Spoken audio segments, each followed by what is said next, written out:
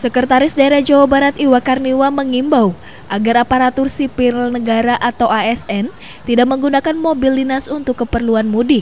Menurutnya, sesuai aturan Menteri Dalam Negeri mobil dinas hanya untuk keperluan dinas. Jika ditemukan ASN yang menggunakan mobil dinas untuk mudik akan diberi peringatan sesuai aturan yang berlaku.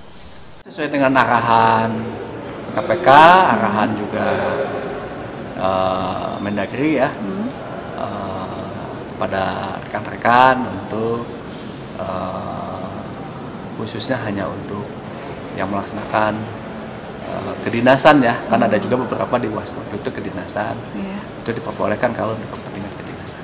Oh jadi nggak boleh kalau untuk mudik mah ya? Ya pertimbangkan menggunakan uang apa kendaraan pribadi lah.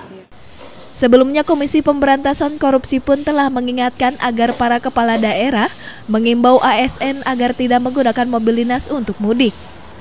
Menurut KPK, penggunaan mobil dinas akan menurunkan kepercayaan masyarakat terhadap pemerintah daerah.